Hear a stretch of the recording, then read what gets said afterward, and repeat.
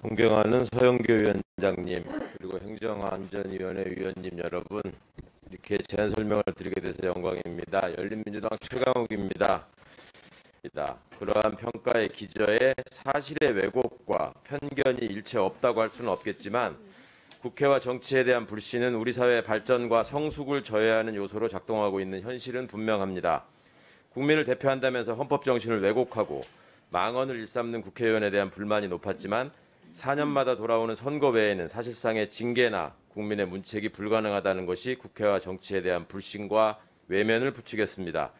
잘 아시는 것처럼 국회의원과 달리 지방자치단체의 장과 지방의회 의원에 대해서는 2006년 주민소환에 관한 법률 제정에 따라 주민소환제가 도입되어 주민이 직접 정치적 책임을 물을 수 있게 되었습니다.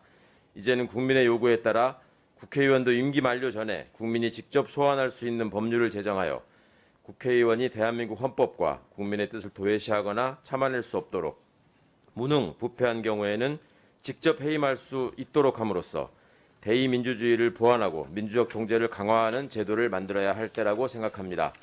국민소환제도의 도입 논의는 제17대 국회에서부터 시작되어 지난 20대 국회에서 여러 의원님들께서 유사한 취지- 취지의 법률안을 제안하셨고 이번 21대 국회에서도 박영순 의원님을 비롯한 여러 더불어민주당 의원님께서도 같은 이름의 법안을 발의하신 것으로 알고 있습니다.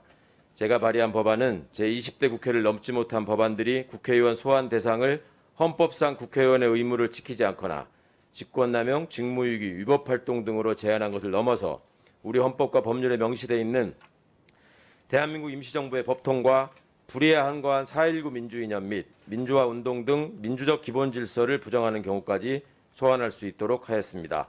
기타 어, 임기나 구체적 요건에 대해서는 어, 지역구, 후- 지역구 국회의원과 비례대표 국회의원의 각 특성에 맞는 규정을 마련했습니다.